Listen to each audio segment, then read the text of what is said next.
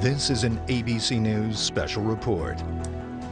Good afternoon to all of you. I'm Diane Sawyer here at ABC News headquarters in New York, and we do have the breaking news of a shooting at an elementary school in Newtown, Connecticut.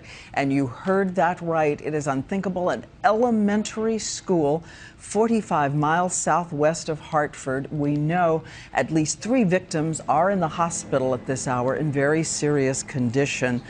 We know there was at least one gunman now confirmed dead. The school is still on lockdown. SWAT teams have been on the scene. We have seen the images of the terrified children being whisked out of the school, led by their teachers, and taken to a fire station nearby. And just moments ago, I spoke to the mother of a seven year old boy. In that fire station, there were two kinds of parents those who received the joyful news of relief and those who are still in doubt about their children. She got the good news that her seven year old son was all right. Here's what she had to say.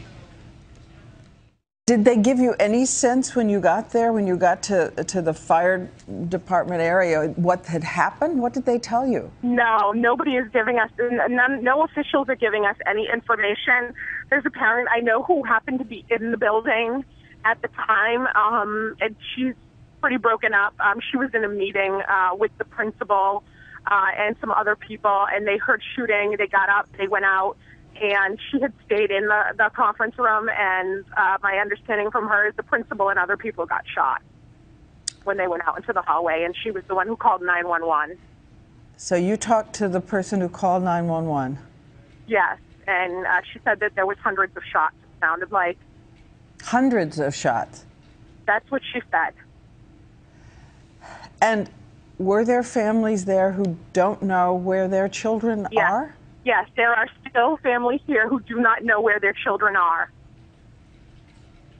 And were they giving them any information at all? Are there still There's children? no information for those parents. Uh, they have the kids who were evacuated into the fire department um, uh, house. Um, they asked, as they've been taking attendance, they've been checking kids out to their parents.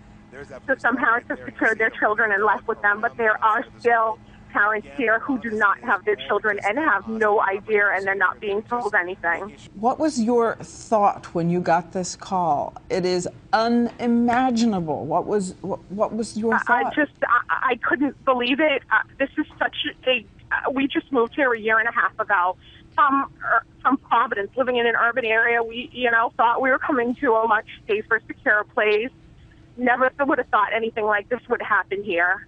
Um, and it's it's just it's a large town, but it's got a real small town family feel, and this is just un, unimaginable. And just I'm very scared, worried about my son, worried about the other kids that I know here, um, and and still just really in, in shock.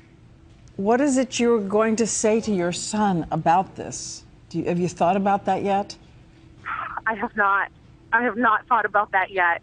And I, I mean, my daughter is in preschool down the street. I know her preschool's in lockdown, and my, uh, I have an older son who's who's at the intermediate school for fifth and sixth graders, and they're in lockdown. I don't know what's happening there. Well, again, I thank you so much for phoning in and everything that you've told us. Thank heaven your children are all right, and we send you, we just send you love and all of our thoughts for these days ahead. Thank you.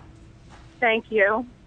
And again, we want to stress there's so much that's still unconfirmed. This is still a moving situation with breaking news. But let's check in with our Justice Department correspondent, Pierre Thomas. He has been talking to all of his sources there. Pierre, what are they saying? Diane, the FBI and the Bureau of Alcohol, Tobacco, and Firearms uh, have sent personnel to the scene. They describe it as a very active scene.